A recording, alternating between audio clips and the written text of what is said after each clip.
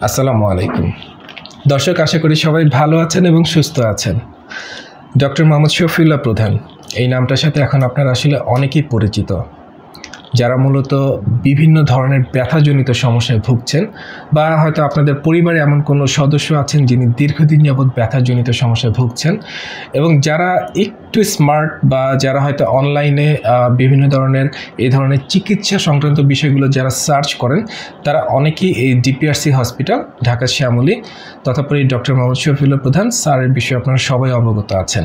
যিনি দীর্ঘদিন যাবৎ বিভিন্ন ব্যথাজনিত সমস্যার যে ধরনের রোগী আছেন, তাদেরকে বিনা অপারেশনে সম্পূর্ণ সুস্থ এবং ভালো করে তুলছেন। দর্শক এরকম অসংখ্য উদাহরণ আছেন এবং তারই একটা ছোট্ট নমুনা আজকে আমাদের সাথে এখানে উপস্থিত আছেন আমাদের একজন বোন যিনি দীর্ঘদিন যাবৎ উনি পিএলআইডি রোগে ভুগছিলেন। পাশাপাশি ওনার অস্ট্রিও আর্থ্রাইটিস ছিল ওনার দুই হাঁটুতে। দর্শক কি হয়েছিল? আসেন একটু ওনার সাথে আগে একটু পরিচিত হয়নি এবং ওনার মুখ থেকেই প্রথম থেকে শেষ পর্যন্ত আমরা একটু শোনার চেষ্টা করব। আসসালামু আলাইকুম।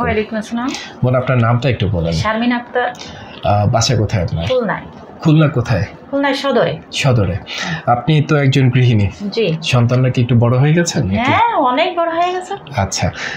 আমরা জানি যে সেই খুলনা থেকে এত দূর থেকে আপনি স্যারের কাছে এসেছেন চিকিৎসার জন্য। যদি একটু খুলে বলতেন যে কি হয়েছিল আপনার এবং এটা কতদিন আগে প্রথম বুঝতে পারেন আপনি?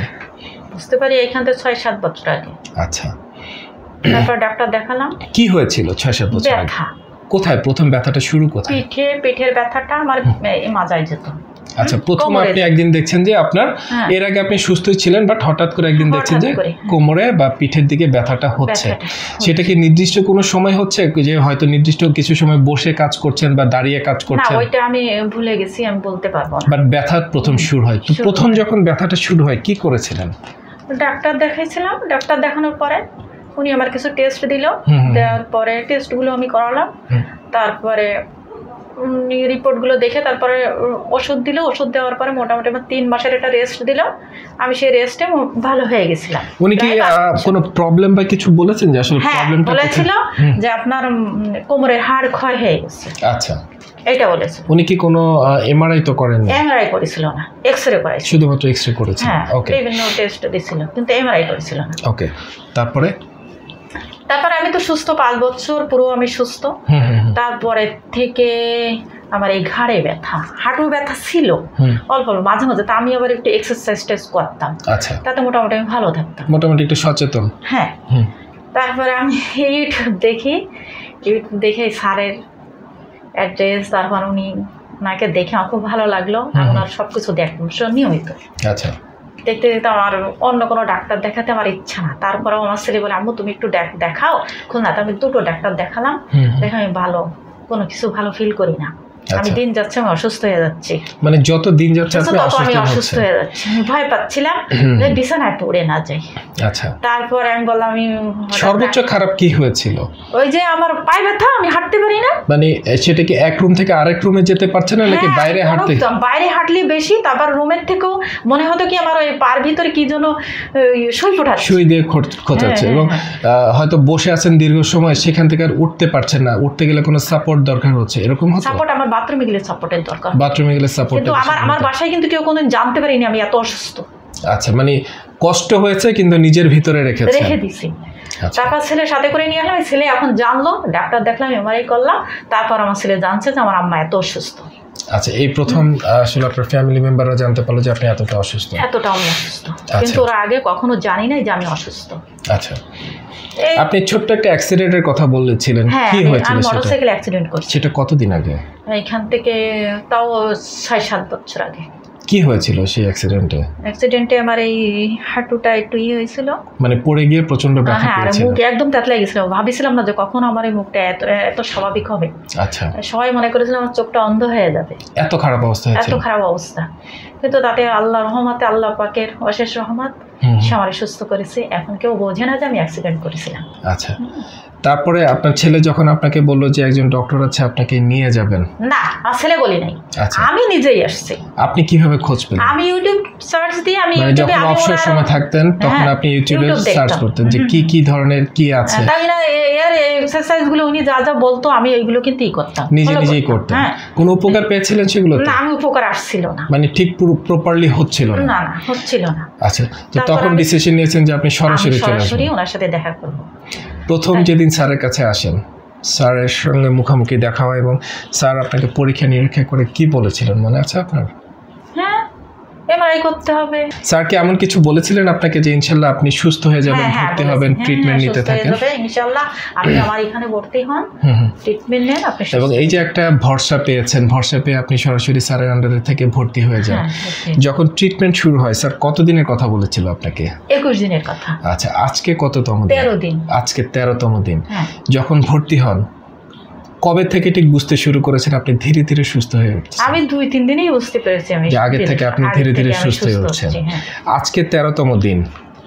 আপনার সেই অসম্ভব কোমরে ব্যথা হাঁটু ব্যথা এবং ঘাড়ে ব্যথা। নাই নাই নাই হাঁটাচলা হাঁটা চলা করছেন এই রুম থেকে ওই রুমে আমি যাচ্ছেন। একদম স্বাভাবিক আগের মতন সুস্থ ইনশাল্লাহ তার মানে স্যার তার কথা রেখেছেন। স্যার যেটা বলেছেন যে ইনশাল্লাহ আপনি হ্যাঁ, হ্যাঁ, ভর্তি হন আপনি সুস্থ হয়ে যাবেন এবং সেই অনুযায়ী আজকে আপনি সম্পূর্ণ সুস্থ এবং ভালো আছেন। হ্যাঁ। এই যে এত দূর থেকে আসা ছুটে আসা।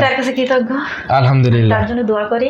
স্যারের অসংখ্য পেশেন্ট আছেন যারা হয়তো এই মুহূর্তে আপনারই মতো একটা সময় যখন আপনি অসুস্থ ছিলেন বিছানায় শুয়ে শুয়ে অন্যের ভিডিওগুলো দেখতেন এবং চিন্তা করতেন যে একটা সময় আমি নিজে হয়তো সেখানে আসব। আজকে ঠিক একই জায়গাটা আপনিও আছেন তাদের জন্য যদি আপনি কিছু বলেন। হ্যাঁ আপনারাও আসেন। এই তো। আলহামদুলিল্লাহ। আপনারাও ট্রিটমেন্ট নেন ইনশাল্লাহ সুস্থ হয়ে যাবেন। বোন আপনি যখন ভর্তি ছিলেন আপনার আশেপাশে তো আরও পেশেন্ট ছিল। তাদেরকে কেমন দেখেছেন? হ্যাঁ হ্যাঁ সুস্থ? তারাও সুস্থ হয়ে চলে গেছে। আলহামদুলিল্লাহ। একজনের তো এক মাস থাকার কথা ছিল সে উনিশ দিন থেকে চলে গেছে। আর আপনি মাত্র তেরো দিন? আমি তেরো দিন। আলহামদুলিল্লাহ। দর্শক এটা হচ্ছে আধুনিক প্রযুক্তির ব্যবহার। আধুনিক প্রযুক্তিকে যদি আমরা সঠিকভাবে ব্যবহার করতে জানি উন্নত চিকিৎসার মাধ্যমে এই ধরনের পেশেন্ট একটা সময় মানুষ কল্পনা করতে পারতো না যে এত দ্রুত সময়ের ভিতরে তারা সুস্থ হন। অথচ দেখুন সাত দিন আট দিন দশ দিনে পাঁচ দিন তিন দিনে পর্যন্ত মানুষ সুস্থ হয়ে যাচ্ছেন। ওরা যদি পারে, আপনি কেন পারবেন না? একবার নিজেকে প্রশ্ন করুন। ভালো থাকবেন, সুস্থ থাকবেন। আসসালামু আলাইকুম।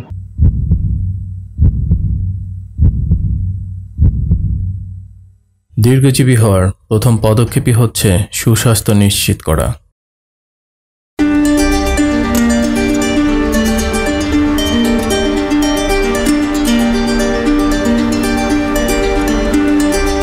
দেহ ও মন ভালো থাকলেই ভালো থাকে স্বাস্থ্য।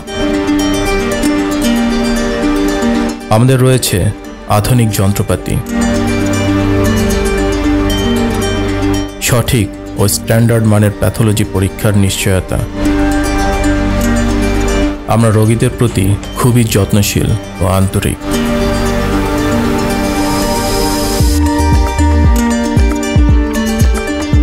আমরা সর্বপ্রথম প্রতিটি রোগীর সঠিক রোগ নির্ণয় করি, এরপর রোগ অনুযায়ী অপারেশনবিহীন চিকিৎসা দিয়ে থাকি।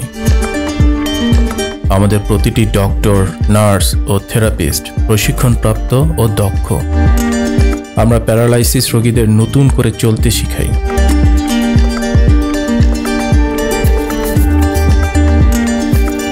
আমরা আপনাকে সর্বোচ্চ মানসম্মত আধুনিক চিকিৎসা সেবা প্রদানের নিশ্চয়তা দিচ্ছি। আমরা বিশ্বাস করি আপনি এখানে আপনার নিজ পরিবারের মতোই সেবা পাবেন।